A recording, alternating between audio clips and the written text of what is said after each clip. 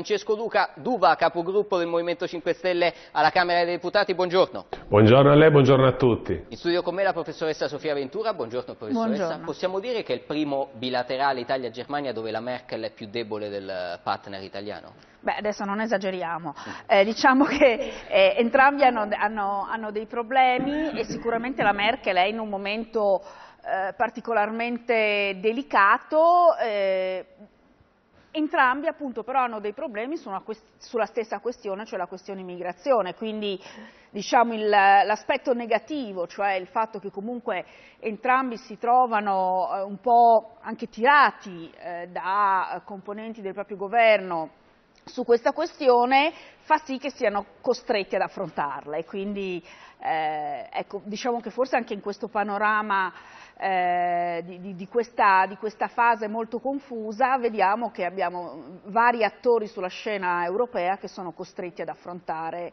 la questione immigrazione. Allora, tra poco ci raggiungerà anche Gianni Trovati del Sole 24 Ore, verrà nei nostri studi. Senta, eh, Duva, la, eh, il tema, uno dei temi, poi ci sarà anche contrasto alla povertà, ci saranno politiche per la crescita nel confronto Merkel-Conte di questo pomeriggio, però il tema centrale sarà quello dell'immigrazione, sarà la riforma eh, di eh, Dublino. La posizione italiana che il capo del governo ha ribadito anche a Parigi è ricollocamenti a livello europeo. Certo è che se l'asse è con il Viktor Orban, che è uno di quelli che ai ricollocamenti ha detto sempre e soltanto di no, mi pare complicato. Beh, la nostra posizione è abbastanza chiara, come è noto ai telespettatori eh, oggi funziona così che il regolamento Dublino Ter dice che se un migrante raggiunge la costa di un paese allora è quel paese che si deve prendere carico della sua accoglienza. Chiaramente questo va a totale eh, svantaggio di tutti i paesi dell'Europa del Sud. Europa meridionale è a vantaggio di chi sta su.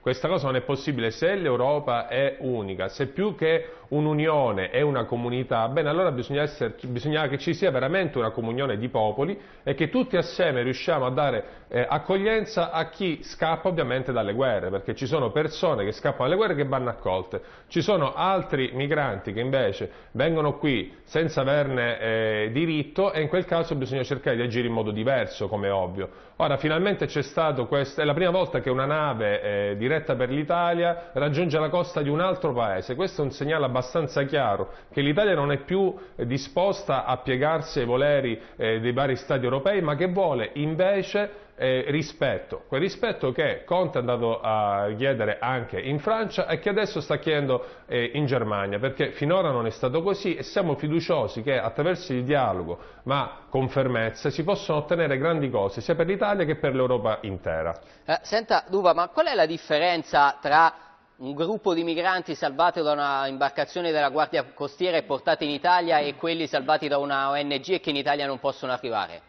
Beh, lo diceva lei, appunto, la legge del mare. La legge del mare significa che se, se c'è una nave in difficoltà che sta affondando bisogna andare a salvarla ed è sacrosanto. Una volta salvata si dovrebbe portare al porto sicuro più vicino, che in molti casi in realtà è Malta, anche se Malta ha chiuso i propri porti, quindi la legge del mare purtroppo per qualche paese è venuta meno. Ci sono le navi dello Stato italiano che stanno nelle acque internazionali o perlomeno nelle acque italiane a fare questo lavoro. Quando ci sono le navi eh, delle ONG che invece fanno questo stazionando di fronte alle coste libiche e aspettando eh, il primo scafo, ecco che secondo me in maniera io voglio dire involontaria perché mi piace, eh, diciamo involontaria assolutamente, fanno in qualche modo eh, i, gli interessi anche di chi su questo business ci lucra parecchio, perché di fatto il fenomeno migratorio è da affrontare, ma c'è chi ci ha fatto i soldi e ci continua a fare i soldi. Questa cosa per noi è intollerabile, l'abbiamo vista in Italia proprio sull'accoglienza, i casi Buzzi, vi ricordate tutti quanti,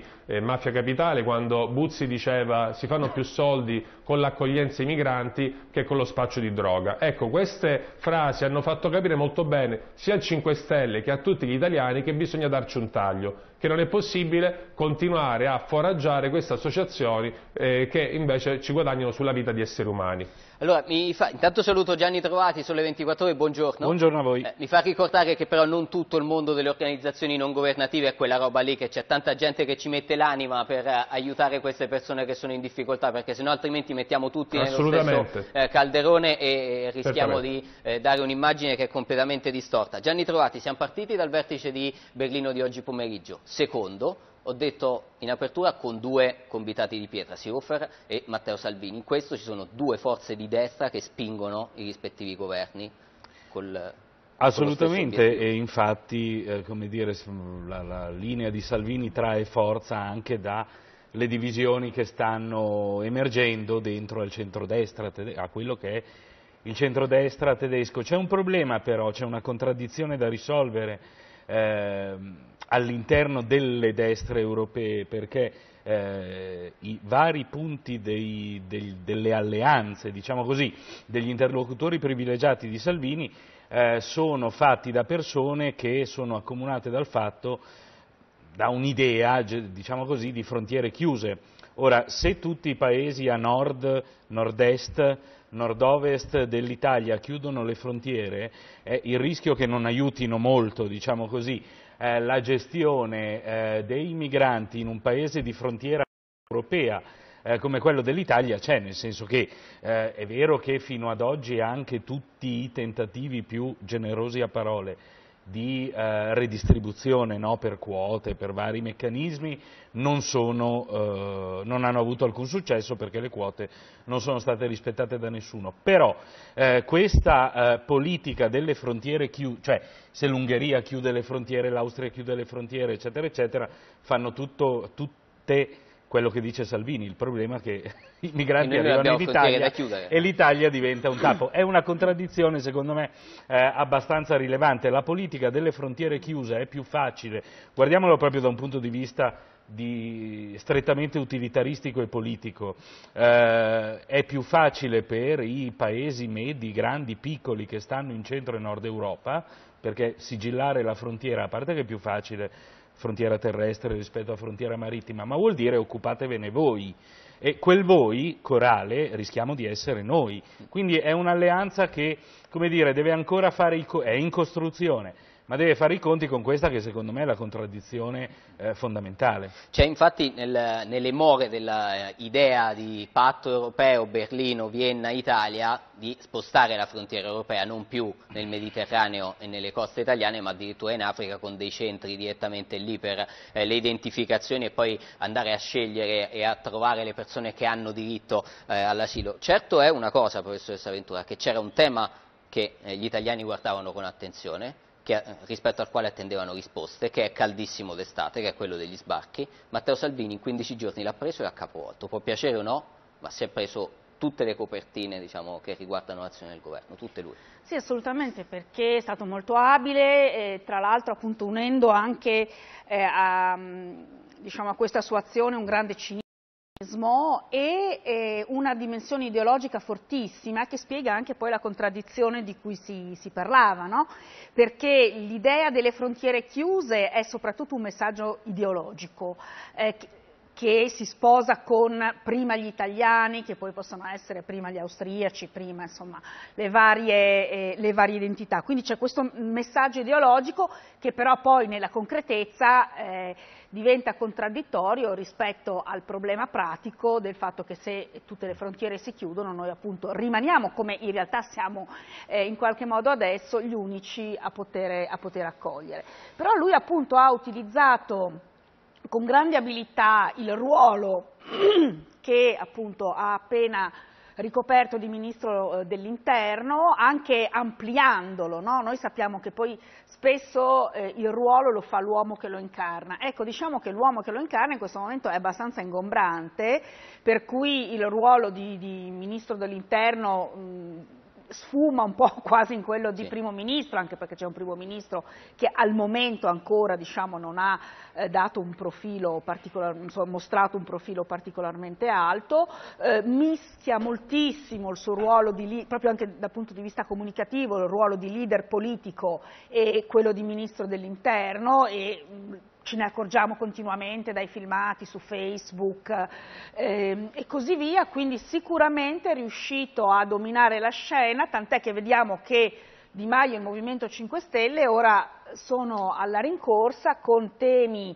altrettanto simbolici, anche se indubbiamente che hanno un impatto minore sull'opinione pubblica, come temi legati appunto al lavoro e non, è, non a caso appunto Di Maio ha scelto questo simbolo dei rider in questo momento che consente anche di riprendere alcune, diciamo, elementi di una narrazione, le multinazionali cattive eh, e quindi la difesa del, eh, del, lavoro, dei precari, del precariato. E anche qui appunto c'è un inseguimento molto simbolico, non, il che non significa che la questione non vada affrontata, però un po' come abbiamo già visto in passato, era un po' la modalità di Renzi questa, innanzitutto si butta la questione in pasto al pubblico, poi eventualmente si, si, fa un po' un passo indietro e lo si affronta in maniera più pragmatica. Ecco, diciamo che il termine passi indietro ad oggi per Matteo Salvini non è molto ma No, infatti stavo lui pensando proprio, esatto, lui è no, no, no, nel caso un altro di tipo Salvini, di, di, di politico. Ecco, Salvini, in no. tutto questo poi Duva, arriviamo al decreto dignità, quello sui rider, oggi c'è un incontro importante,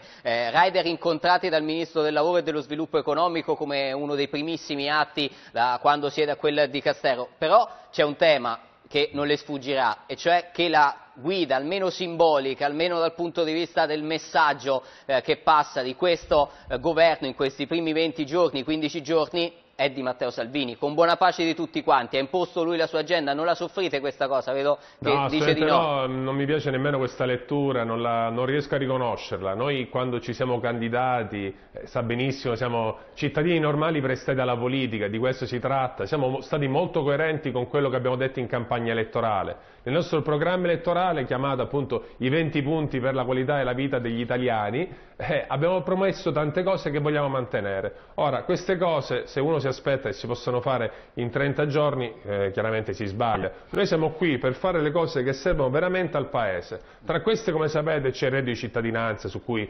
tanto si è detto e tanto si può ancora dire, ma eh, appunto quello che sta dicendo lei è il decreto dignità. Sa, forse tu è arrivato il momento di dire meno e farlo, perché Ora siete Beh, al governo. sì, ma eh, lo vogliamo fare, è chiaro che bisogna, bisogna iniziare con i centri per l'impiego, una volta che ci sono i centri impiego per fare in modo che non sia semplicemente una misura assistenzialista, allora si può fare il reddito di cittadinanza e siamo al lavoro per farlo, ma intanto c'è il decreto dignità che è una prima risposta che il Movimento 5 Stelle dà ai cittadini, a quella che è la gig economy, tanto per cominciare, che sono i giovani, che poi in realtà nemmeno giovani, perché mi è capitato di vedere anche persone più grandi costrette a fare questo lavoro, che gli si può dare dignità. Di cosa si tratta? Si tratta di queste persone che oggi vengono utilizzate dalle multinazionali, eh, fanno lavori abbastanza stancanti, pagati a cottimo e con turni massacranti. Questa cosa per quanto ci riguarda non è possibile, vogliamo cambiarla. Vogliamo, una, vogliamo che ci sia una reale lotta al precariato, è possibile anche andare a combattere quelle multinazionali che vengono in Italia e si prendono a volte, non è questo il caso, ma in generale possono anche prendere i finanziamenti pubblici e poi andare all'estero. Queste cose vanno assolutamente fermate. Ora, abbiamo, ora tornando alla gig economy, ovviamente ci sono questi eh, fattorini eh, che utilizzano delle applicazioni per lavorare che vanno protette non l'ha fatto nessuno finora, vogliamo farlo noi e siamo fiduciosi che questa è una di quelle misure reali che serve al Paese, al di là dei proclami, al di là di tutto, è quello che serve agli italiani che ci hanno votato. Io capisco, però comprenderà che dal punto di vista simbolico, come diceva la professoressa Ventura, un conto è prendere in mano il dossier immigrazione e svilupparlo come avrà notato nel dibattito parlamentare, secondo i canoni del programma del centrodestra, perché Fratelli d'Italia, Forza Italia hanno tutti espresso grande soddisfazione per quanto fatto da Matteo Salvini, un conto è iniziare da una battaglia simbolicamente importante e rilevante, come si diceva poc'anzi, ma che dal punto di vista della proiezione esterna, non so se il termine è giusto, ha un effetto diverso. Ma guardi, questa non è una gara a chi fa prima le cose tra Lega, 5 Stelle. Il Dipende qual è l'obiettivo, se premier... l'obiettivo è votare tra 5 anni no, se l'obiettivo è votare presto sì. Ma per quanto mi riguarda l'obiettivo è prendere il programma di governo e portarlo a compimento. Se qualcuno si tira fuori prima da questo programma di governo, allora abbiamo scherzato. Noi come Movimento 5 Stelle vogliamo portare avanti tutti quei punti, sia quelli che abbiamo proposto noi che quelli che sono arrivati dall'altra parte, perché ci siamo impegnati per farlo e ci impegneremo per farlo e siamo anche convinti che lo farà la Lega. Questa narrazione io non, non la condivido, ecco. Sono certo che invece possiamo fare grandi cose e lo faremo tutti assieme con il Presidente del Consiglio Conte, che anche se qualcuno appunto vuole dire che non è, non è forte, via così, si sta dimostrando invece un abilissimo politico perché è andato al G7 e si è fatto apprezzare anche da Trump, è andato eh, in Francia, adesso alla Merkel e sta dimostrando che l'Italia è un paese più forte di quello che è stato finora. Sulla vicenda francese, soprattutto nella ricomposizione, ruolo evidentemente anche del Presidente della Repubblica Sergio Mattarella che col Presidente del Consiglio ha dire, fatto in modo che si ricomponesse il quadro dopo quella telefonata notturna, il comunicato di Macron che non prevedeva delle scuse ma comunque è stato un segnale importante che eh, andava colto e che Quirinale e Presidenza del Consiglio hanno voluto cogliere. Gianni Trovati sarà anche una narrazione per carità, però se la flat tax, come dice Caravaglia stamattina, si può iniziare a fare ad agosto, subito, per le imprese. Eh, reddito di cittadinanza servono i tempi che servono, ci li spiegava Duva. Politica dell'immigrazione, costo zero, pronti e via. Magari legittima difesa, pronti e via. Noi penseremo tutti male, ma che un'idea sulla primavera 2019 Salvini ce l'abbia. Ma diciamo che eh, sì, la narrazione poi magari prima o poi finiremo di narrare e vedremo qualcosa di concreto, perché qui sono cento giorni che narriamo e anche il narratore, diciamo, anche il narratore più indefesso dopo un po' ha il fiatone. Ma detto questo... Figurarsi gli ascoltatori. Figura, un, un, saluto e un bacio diciamo, a tutti quanti. Solidarietà a tutti. No, il punto, il punto è questo, eh, è evidente che c'è un segno fortemente leghista in questa primissima fase della del governo, ma c'è anche una ragione. Allora, a confrontarsi sono due realtà politiche profondamente diverse fra di loro.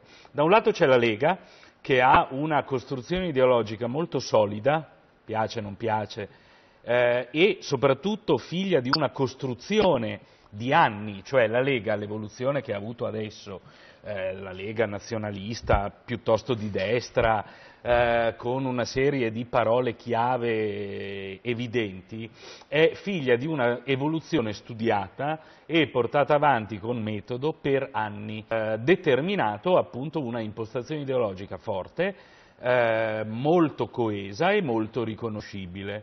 Questo è il primo, eh, uno dei due azionisti. L'altro azionista invece è in una fase, diciamo così, eh, molto più fluida perché eh, l'immigrazione... Per natura direi. Per natura e perché è un movimento molto più giovane che è cresciuto molto eh, in maniera diciamo eh, un po' eh, convulsa, nel senso che il Movimento 5 Stelle di oggi non è lo stesso Movimento 5 Stelle di qualche anno fa.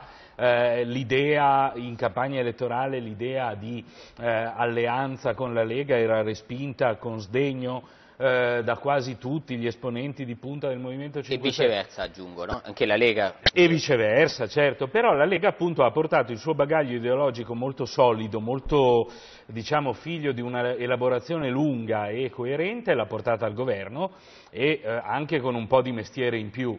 Eh, rispetto agli esponenti di punta dei 5 Stelle perché quelli della Lega fanno politica da parecchi più anni, diciamo così, quindi c'è anche un po' di mestiere. Eh... Diciamo che negli amministratori della Lega l'idea del cittadino che si presta per un momento no, infatti non... anche la squadra di governo, i viceministri, i sottosegretari eccetera, è fatta da gente che fa politica da 10, 15, 20 anni, quindi ne conosce le dinamiche, conosce i meccanismi, conosce anche le furbizie no, dell'azione eh, politica e quindi è riuscita a imporre il segno.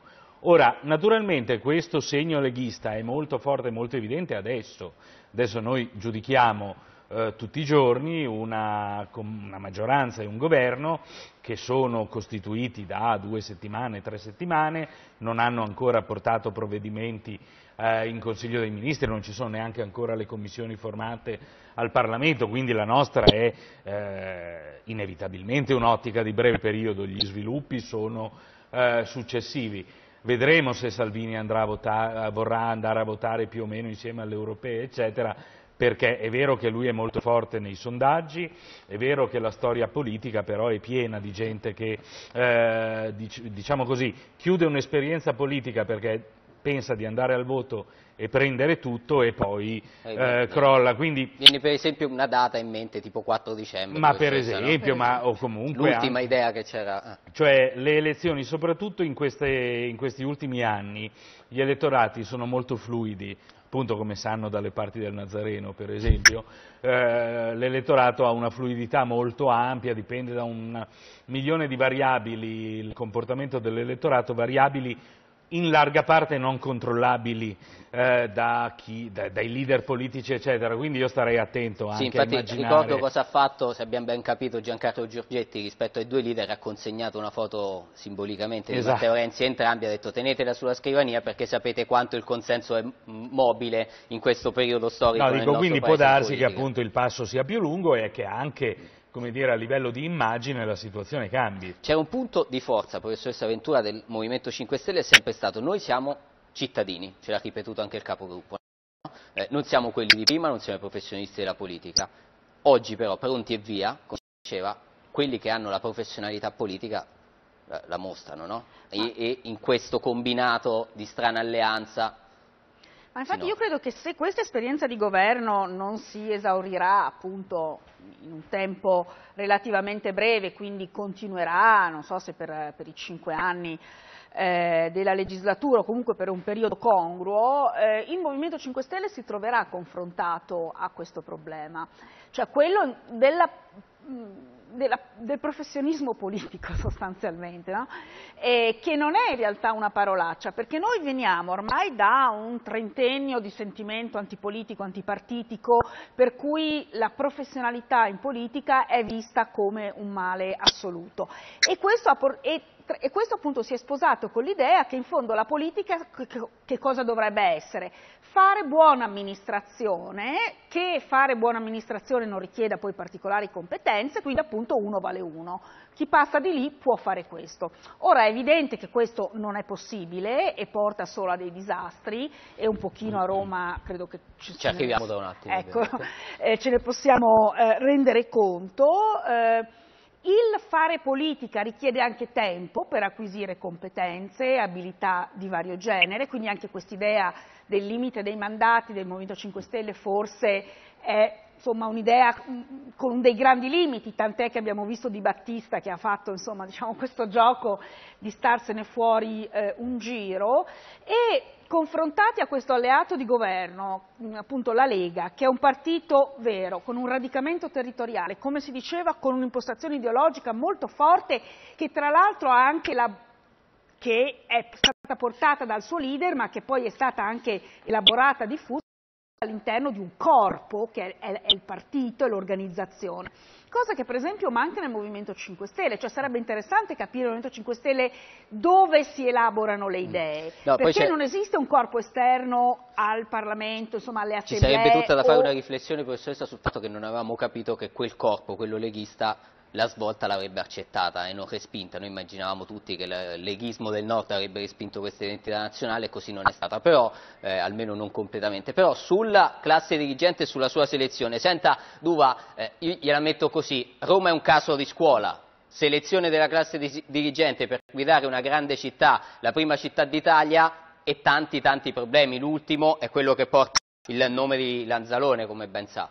Di Lanzalone di Parnasi in realtà, che di fatto era quel costruttore che ha finanziato un po' tutti tranne il Movimento 5 Stelle, quindi cerchiamo anche di ricordare bene le cose. Un po' tutte le persone, un po' tutte le forze politiche hanno ricevuto soldi, finanziamenti in maniera lecita, si vedrà se la magistratura a dirlo, da questo costruttore Parnasi.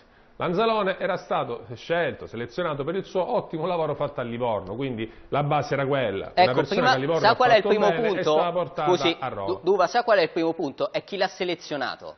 Perché se la sindaca della capitale dice l'ha selezionato qualcun altro per me è un problema, lo capisce? Beh, io non credo sia un problema nel momento in cui noi siamo come Movimento 5 Stelle una rete, noi ci vantiamo anche di questo, quando ci presentiamo alle amministrative facciamo presente che il Movimento 5 Stelle non muore nella singola città, ma di fatto ha dei collegamenti a livello regionale, a livello nazionale, a livello anche europeo.